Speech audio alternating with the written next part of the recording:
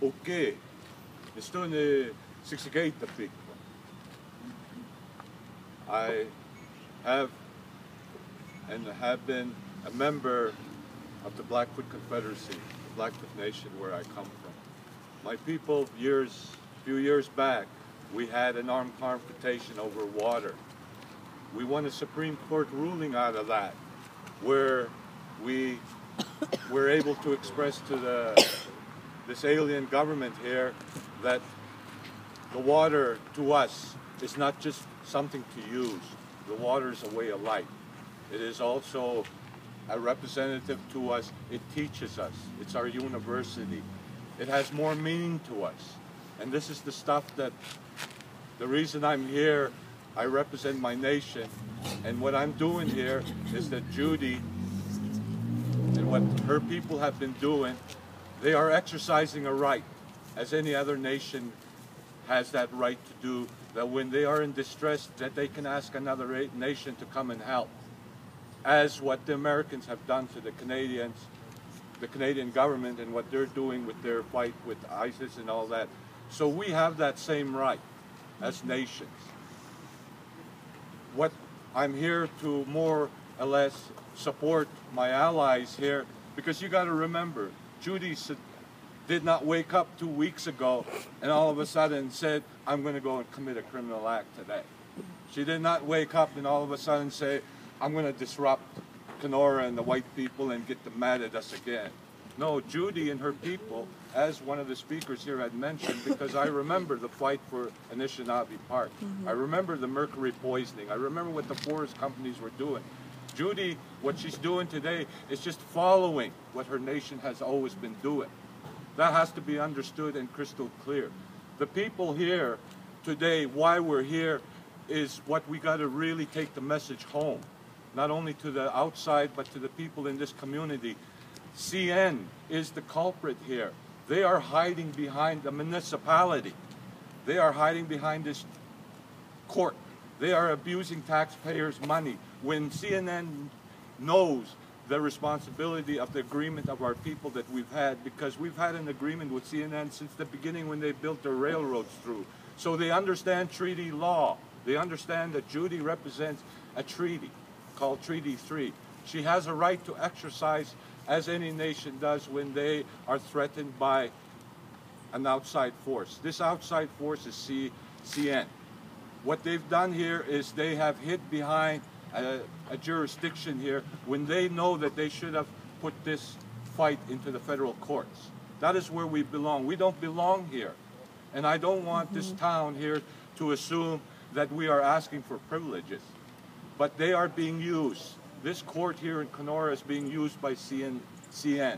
And that message has to get out because this is the way corporations use little municipalities and they're the ones that keep us at each other with this racist kind of tone that they that they know that they can get away with and hide behind it. But what we need to do here is we need to remember that what Judy and Treaty 3 and the people have been doing here They've been doing this since the beginning of time. It is our right. We are not criminals. We don't fight. We don't put bombs on ourselves. We don't go and take over buildings. Our people, we have always. My battle was for water. What's happened here? Water. What happened in Oka? They were fighting for pines. My people, we don't fight. What we do is we defend the way of life, mm -hmm. which is nature. So as a member of the Blackfoot Confederacy, this is why I'm here. I'm here to exercise my right as a nation. When another nation asks for help, this is what we need to do. So I am asking all other nations across this country that they need to honor the cry and the plea of Judy and her people because right now they are being attacked by a negligent corporation that is abusing their, the powers in this country when they know that they have this, that we can't say that they're stupid. They are doing this knowingly. They need to put this into the federal courts. We have no right to be in this building. I believe that this is where the fight needs to be brought to. And whatever Judy and her people decide to do, the Blackfoot Confederacy will stand behind her mm-hmm. because that is our her right to ask wherever this goes. But the thing is, is you got to remember we are nations of people.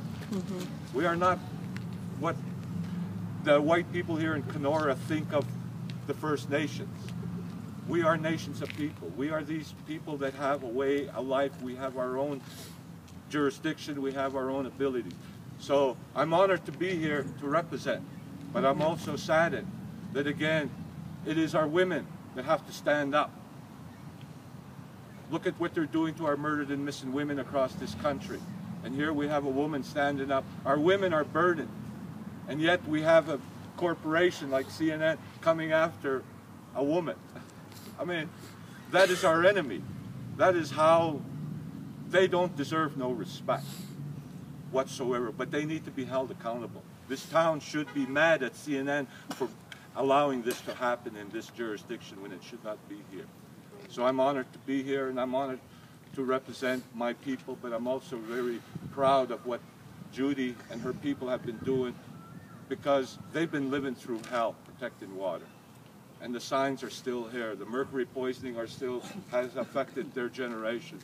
So Judy has every right and her people have every right. Whatever they choose to do, the Blackfoot Confederacy will stand behind them, wherever that may go. So it is an honor to be here today as a member of a nation to support another nation because that's our right. So uh, hope.